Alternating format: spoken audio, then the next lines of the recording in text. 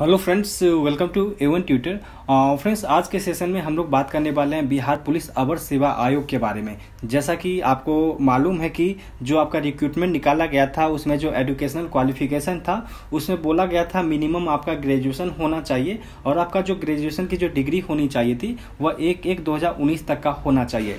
लेकिन विभाग द्वारा करीब तीन लाख से ज़्यादा कैंडिडेट फॉर्म नहीं भर पाने के कारण ऐसा फिर से मतलब प्रदर्शन किया गया था। उसके बाद से विभाग ने यह फैसला लिया कि आपका जो ग्रेजुएशन का जो डिग्री होगा फ्रेंड वह एक आठ दो हज़ार उन्नीस तक भी होगा तो चलेगा, आप लोग अप्लाई कर सकते हैं। इसी को हम लोग पूरा डिटेल में पढ़ लेते हैं। यहाँ पे देख सकते हैं, दोस्तों, यहाँ पे आप लोग विज्ञापन संख्या देख सकते हैं। बिहार पुलिस अवर सेवा आयोग द्वारा जो पोस्ट वैकेंसी निकाली गई थी पुलिस अवर निरीक्षक, फिर परिचारी एवं सहायक अधीक्षक कारा, सीधे भर्ती के पदों की रिक्तियों पे चयन हेतु विज्ञापन संख्या एक स्लैश दो दिनांक इक्कीस आठ दो को राज्य के प्रमुख समाचार पत्रों एवं एनआईसी की वेबसाइट पर जारी किया गया था ये रिक्रूटमेंट अब देखिए उक, उक्त जो विज्ञापन में सीधी भर्ती के लिए अभ्यर्थियों के लिए जो शैक्षणिक योग्यता अर्थात स्नातक उत्तीर्ण होने की जो कटअप तिथि थी वह एक एक दो तक निर्धारित की गई थी।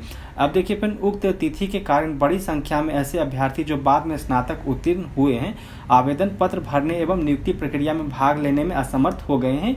ऐसी परिस्थिति में सम्यक विचारोपरांत आयोग द्वारा यह निर्णय लिया गया है कि उक्त कट ऑफ़ तिथि एक एक दो को बढ़ाकर एक आठ दो कर दिया गया है, ताकि ऐसे सभी छात्र आवेदन पत्र भरने एवं नियुक्ति प्रक्रिया में भाग लेने में समर्थ हो सके।